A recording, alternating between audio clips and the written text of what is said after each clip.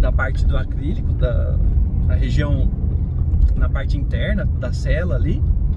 Leva em posição e pede para o paciente mastigar, põe um roletinho de algodão para a gente ver. Assim que ele acabar de mastigar, a gente tira isso e vê aonde saiu esta pasta. Onde saiu, a gente faz um leve desgaste para reduzir a compressão naquela região.